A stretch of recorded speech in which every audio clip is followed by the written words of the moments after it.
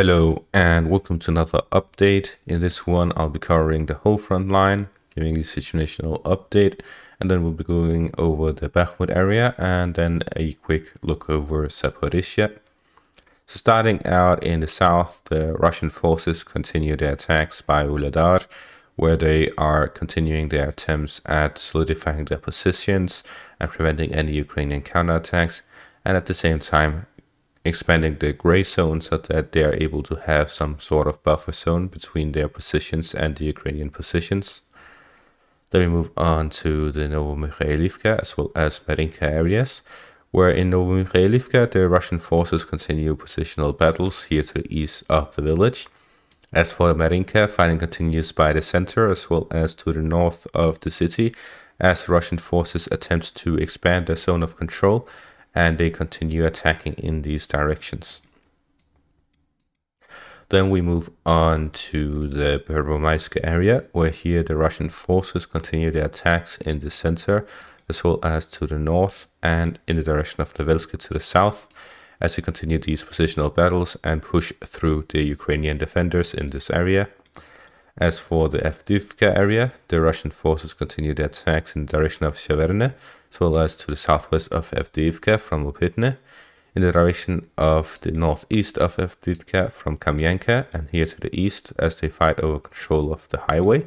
And at the same time, fighting continues to the west of Krasnohorivka in the direction of the railways, and to the northwest of Novoselivka Druha in the direction of Novokalinove, as the Russian forces have gained control over this part of the railways. As for the Kreminna area, fighting continues on the whole front line from Ploshanka in the direction of Makiivka, from Chervonopopivka northwest in the direction of Nevsky and southwest in the direction of Terny, west of Kreminna in the direction of Zarichne and Torsky, and south of Dubrova, as well as Kreminna in the Serebryansky forest area, as the Russian forces continue positional battles within the forest line, attempting to expand the zone of control and gain uh, control over important intersections, which will allow them to cut off supply lines to the Ukrainian forces within the area. Fighting continues in the Siversk front in the direction of Bilorivka and Verkhnokamianske, as Russian forces here attempt to gain further control over these areas and gain a proper foothold in Bilohorivka. And then finally, there is some slight advancement by Ukrainian forces here by Sakoyevansety, some trenches here to the west of the village. This area here was captured by the Ukrainian forces. As for the Bakhmut front, fighting continues south of Orihovo Vasilivka, as well as to the south of Ivanivske, as the Russian forces here attempt to gain further control over the areas, which will allow them to attack the supply lines here to the west of Bakhmut.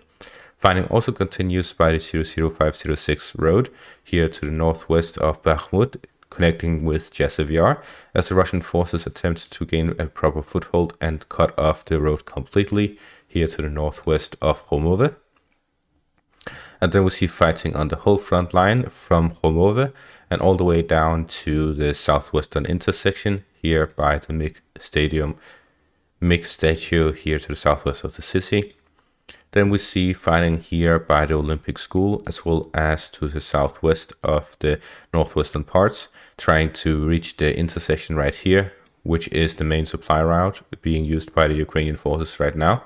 Then we also see fighting on the whole citadel area from the north, northeast, and east of it, as well as positional fighting to the south of the citadel area, which is this area right here, as the Russian forces attempt to cut off the roads here to the southwest. Then we also see fighting here in the gray zone to the south of the citadel area, and attacks by the high-rise areas here to the southwest by the intersection, which will allow the Russian forces to completely cut off this road here to the south of the city. So there's heavy fighting within the city, and then there's been this whole ammunition saga where Prigozhin keeps complaining about a lack of ammunition, while the uh, Russian forces claim that they're receiving as much as they need to, and if there's anyone issues, then they're looking into it. Then we have the idea that Prigozhin wants to pull out Wagner forces by May 10th.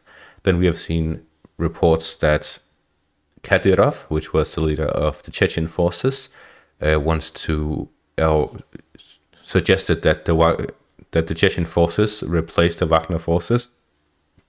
And now we have seen a new idea that uh, Kadyrov will not exchange the Wagner forces, but instead work together with them.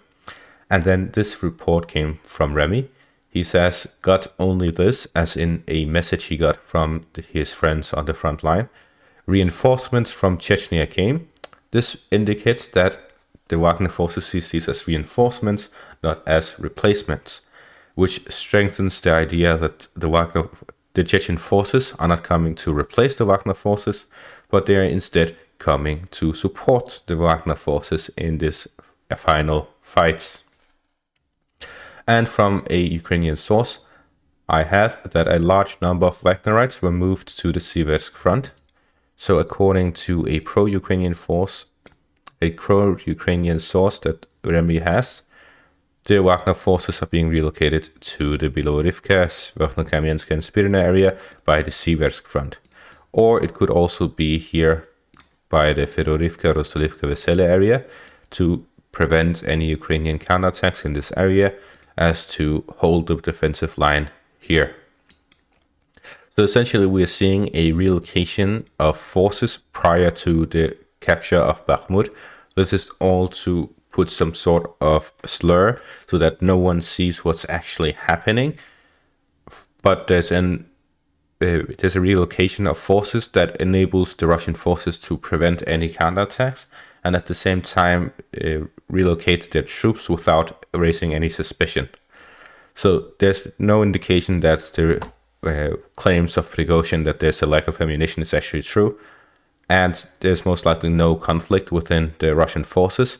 They are just complaining to put up this uh, misinformation campaign so that they're able to relocate their troops to where they need them to be prior to the capture of Bakhmut, which could start some sort of Ukrainian counterattack or something in relation to that. Now, if we check the weather by Bakhmut, we see here that there will be some sunlight today and then there will be none for the next couple of days. And then from Friday onwards, there's going to be sun and no rain. So in this period of time, we are going to see the weather improve. The Tuesday, Wednesday, and Thursday rain is going to be light rain, so there's not going to be any significant uh, changes to the geograph geography. However, it will delay the uh, solidifying of the ground, which would delay any form of offensive being conducted before, at the very least, May 15th. Then we see in the Zaporizhia front, which is this one here in the south, that it is similar. However, already it will only be rain on Tuesday and Wednesday, and then from Thursday onwards, all the way to Wednesday 17th, it's going to be sunlight. This, of course, is going to may change as we can see the predictability is very low, already 40% for Tuesday, so there may not even be rain on there. So essentially, we are seeing that the weather is changing in favor of the ground solidifying and there becoming less rain. And that would mean a better opportunity for a Ukrainian offensive in these conditions compared to what we've seen since the start of April, where there had been constant rain. So that is the current weather situation, and we can expect from that that there will be no excuses in form of the weather for the next couple of weeks for there not being an offensive by the Ukrainian forces, which indicates that it is closing in. Anyways, that is going to be all for this update. Make sure to check out my Patreon if you want to support me. I've done some changes on there, so you should check it out at the very least. And make sure to leave a like and subscribe. Thank you all for watching and have a great day.